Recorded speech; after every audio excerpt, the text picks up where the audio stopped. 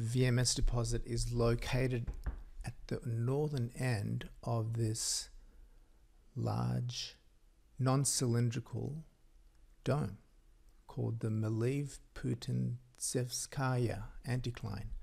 It's located here and it's plunging towards the northwest.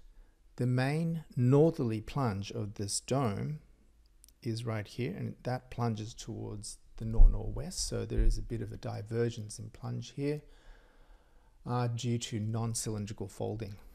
There are two other large VMS deposits, Zyryanovsk which is located here and uh, Grekov deposit which is located here and they both plunge in the local antiformal hinge. They're located in antiformal hinges and they all plunge in the same direction.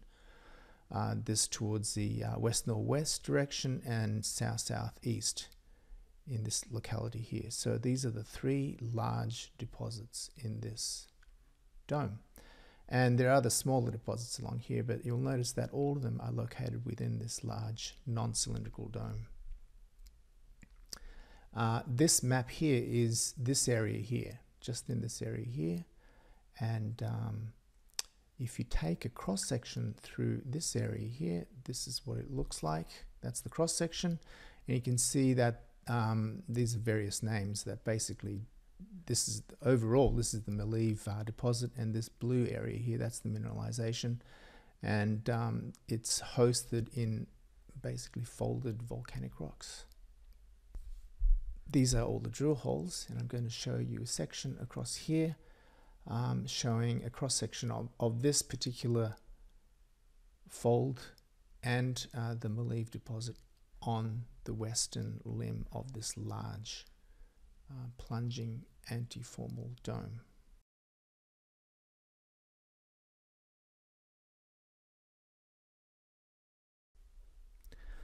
This is the cross section of the northern end of the dome here.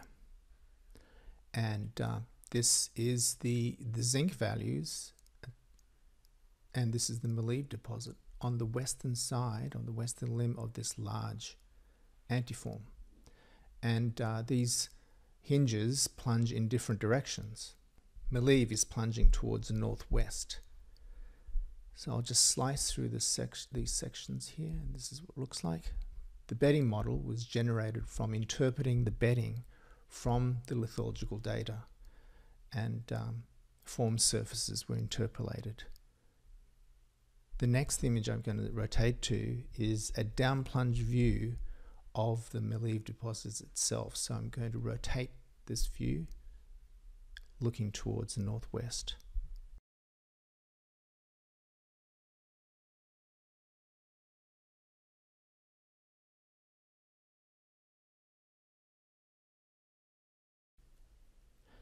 This is what the Maleev deposit looks like in cross section um, the drill holes are showing the lithology and you can see layering which you can actually interpret as bedding and this is what's been in, interpreted here. So these wavy surfaces are, are the folds. I'll just take off the lithological data. These wireframes were digitized by Mayan geologists and you can clearly see that they the way they've modeled you can actually see the, uh, the the folding in the ore itself. You can see this as we slice.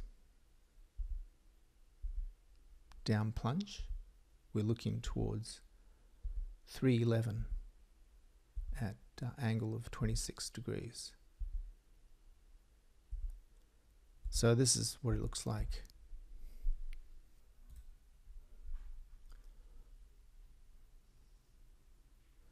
We're slicing down plunge again the ore wireframe in red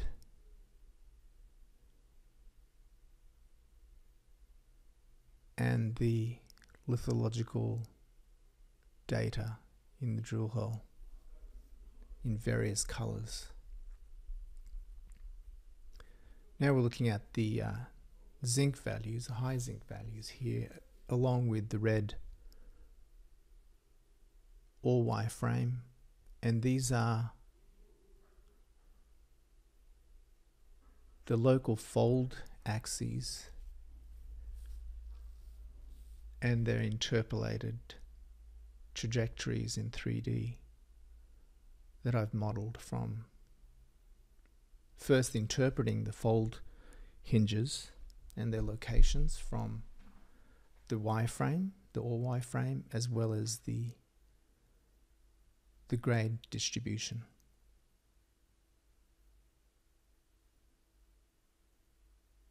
And we're rotating away from that cross-sectional view to looking at the grade from above. And you'll start to see that these arrows, you can see that they go right across and they don't, the grades don't actually continue along these fold axes trajectories. And you can see that there are straight boundaries that you can see that you can draw that appear to truncate the grade distribution. And we're going to rotate towards looking along the strike line of these discontinuities that, that I've digitized from the grade distribution.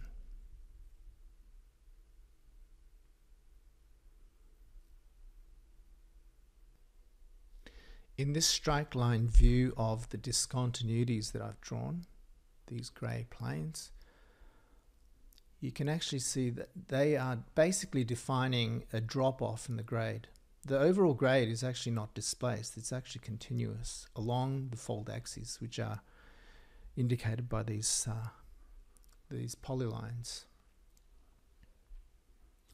So looking at it from down from the top, you can actually see that the folds run along here, continue, but the grades themselves are, they just stop suddenly at particular locations. And you can actually see this one running along here and it stops the grade here.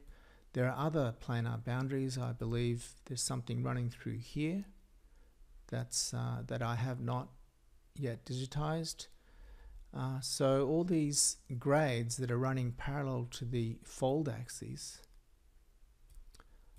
are in places just simply truncated by these discontinuities. And these discontinuities are planar so they have to be have to have formed after the folding or at least it's either after or during the folding process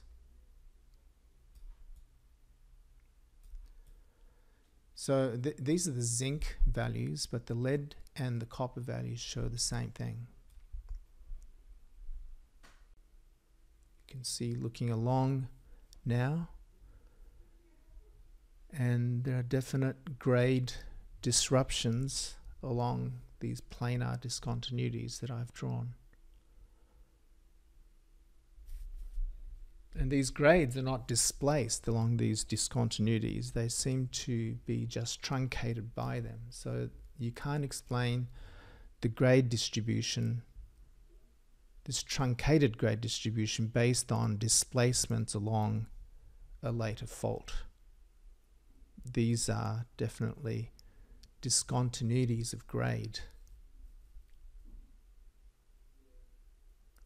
We're going to go back looking down plunge now.